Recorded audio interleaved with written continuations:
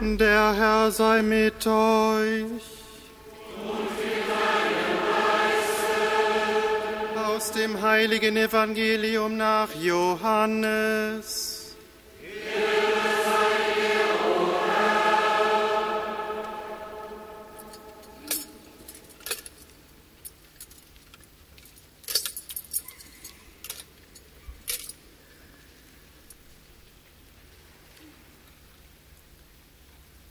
In jener Zeit sprach Jesus zu seinen Jüngern, ich bin der wahre Weinstock und mein Vater ist der Winzer. Jede Rebe an mir, die keine Frucht bringt, schneidet er ab, und jede Rebe, die Frucht bringt, reinigt er, damit sie mehr Frucht bringt. Ihr seid schon rein durch das Wort, das ich zu euch gesagt habe. Bleibt in mir, dann bleibe ich in euch.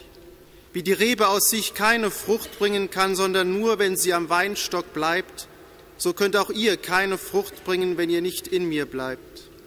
Ich bin der Weinstock, ihr seid die Reben.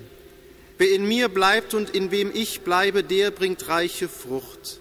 Denn getrennt von mir könnt ihr nichts vollbringen. Wer nicht in mir bleibt, wird wie die Rebe weggeworfen und er verdorrt.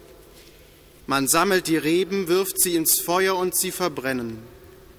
Wenn ihr in mir bleibt und wenn meine Worte in euch bleiben, dann bittet um alles, was ihr wollt.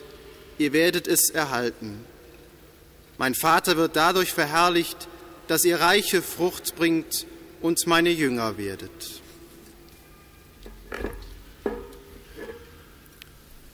Evangelium unseres Herrn Jesus Christus.